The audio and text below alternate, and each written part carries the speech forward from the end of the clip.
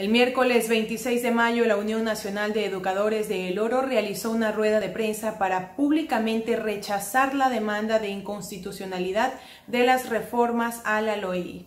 El magisterio está movilizando en todo el país. Para ello, se están realizando asambleas para exigir que se respeten las conquistas alcanzadas.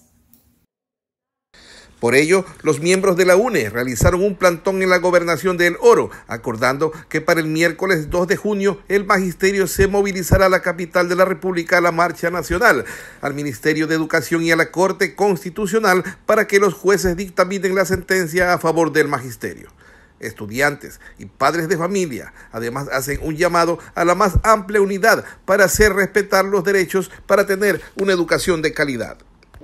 Esta demanda la ha realizado el 10 de mayo.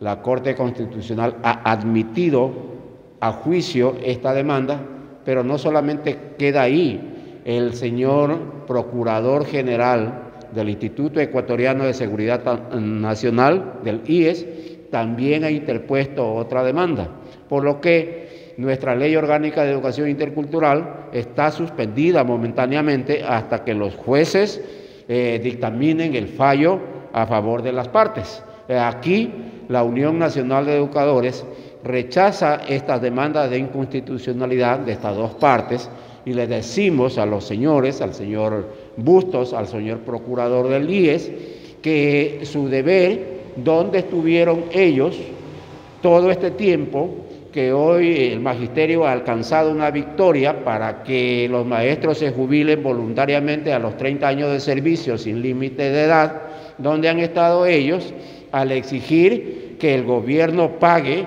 al IES los aproximadamente 20 mil millones de dólares que le adeuda el Estado al Seguro Social. De ahí viene el desfinanciamiento, donde estuvieron las dos partes para exigirle al gobierno que cobre a los empleadores morosos al Instituto Ecuatoriano de Seguridad Social, que son aproximadamente 1.500 millones.